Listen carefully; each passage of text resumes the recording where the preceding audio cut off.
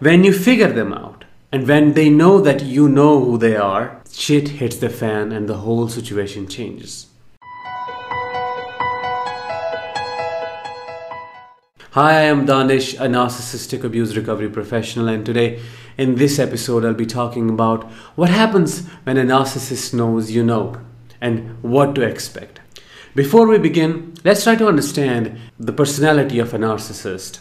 A narcissist, being a predator, they study you. They are the, one of the best analysts of human behavior, meaning they are highly, overly attuned with the prey they have in their trap. They study your behaviorisms, they study your uh, ways of perceiving the world, they study how you think about relationships, they, they even observe your breathing patterns, they observe your every aspect just to know how to attack, when to attack, and in what direction to attack. That means that even a minute fluctuation is going to trigger their alert system the narcissistic alert system that tells them that they are about to lose a supply.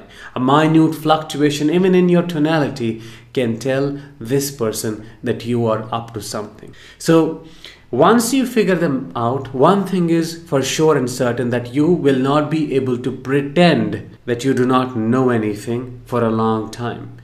They will figure it out eventually. They will do so many things, and the things that I'll be covering in a minute just to bring it out of you, just to get that reaction, just to make you lose it. That's why once you figure a narcissist out, the best thing to do is to plan your exit strategy, whether it is your boss, your partner, your parent, anyone who is a narcissist in your life.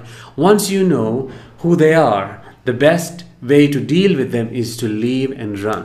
So let's try to understand what would they do? What happens in a narcissist's head? How do they react? What are, what are their uh, ways of behaving? How, how do they change themselves and morph themselves into different personalities just to keep you around? Or the worst, to hurt you for figuring them out. Now, there are two possibilities. Once you find who they are and once you know how they function, you may feel happy about it. Like it's like you if you felt you feel like you have the keys to the kingdom you have found the secret treasure you know the truth you see the possibility of your freedom but before you get to the point of absolute and true freedom you have to go through a lot of pain first. Because before it gets better it gets worse. Once a narcissist knows that you know they are going to one either love bomb you do things that they never did in the in the past to keep you around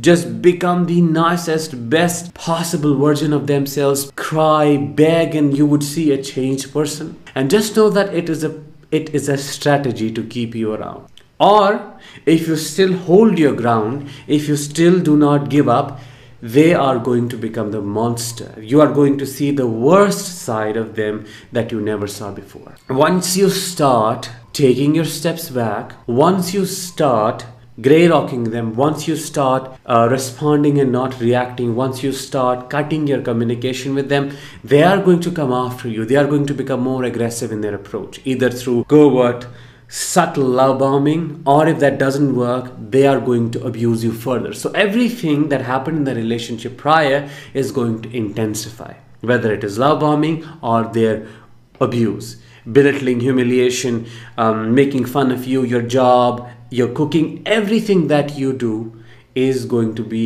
made fun of. You are going to be abused in every possible way. Because one, you finding them out is a big narcissistic injury. In a narcissist's world, they're perfect. It's like they think they cannot be traced, that their truth cannot be found out because whatever they have created, this trap, it is perfect. And once you break it, once you find out, once you know the code, once you know the password, it is a big narcissistic injury. And that means it is going to elicit narcissistic rage and narcissistic punishment. So, the one possibility is that they're going to love bomb. If that doesn't work, the other possibility is they are going to punish you even more. That's why before it gets better, it's going to get worse. Once you leave, they are going to punish you, not only in the relationship but also even after that. Because they have to put you down, they have to defeat you to just maintain the concept that they cannot be defeated, that they are above everyone else, that they are better than everyone else, that they are smarter than everyone else. So, this punishment after the uh, breakup or after the separation would come in the form of putting you through extremely difficult court battles, and if you share children, custody battles, not giving you what you deserve, what is rightfully yours, making it extremely hard to negotiate, playing around, filing one motion after the other, just making you suffer in one or the other way, smear campaigning you, isolating you further, isolating you from your support systems. Imagine every possible way that they can use to damage you they would use it without a thought. This nice, kind, changed person that they pretended to be in the beginning, that was the possibility number one, would never be seen. If, for example, you have properties that you own jointly, for example, your cars, houses, or things like that, they are going to cut you off from those resources, from the from those assets without giving you any kind of warning, or they're going to become ruthless. Be prepared. Do not let them take you by the surprise because these things are going to happen and they are going to reveal their true self. Because once you're prepared you would be equipped enough to fight back. If it is a bank account that you own jointly take your money out separate your phone numbers do things that would create more and more separation and diminish control so that they are they are able to cause less damage less damage to your finances to your image.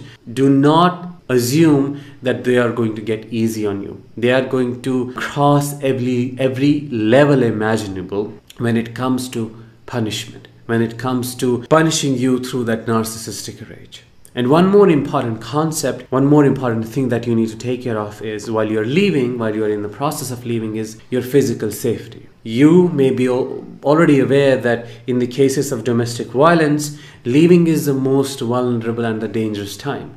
These people are very unpredictable and they can go to any level. And if it is a psychopathic narcissist, like a, a malignant narcissist that you're dealing with, they could probably be a threat. They could cause physical harm, physical damage. So you have to take that factor into consideration as well, and you have to do everything that you can think about to make sure that you and your children are physically safe. Some of the examples are changing your physical address, changing your phone numbers, letting your friends know that you're going through this and you are expecting this and you are afraid, letting them know, letting your support circle know, staying with someone who you think is safe for you, like having someone around, maybe moving to your friends for a brief period until you get your restraining order against them. The expectation is clear that they are going to triple and quadruple their abuse. I haven't seen a narcissist yet who just gets bored with these games because they the more they're able to affect you, the more they're able to cause you harm, be directly or indirectly, the more they enjoy this chaos. So it is going to get to a peak point once they have no options or they move to a different supply, they leave you alone and it comes all the way down. So I hope in today's episode I was able to help you understand what happens when a narcissist knows you have figured them out and what you should expect. I'll talk with you very soon in the next episode.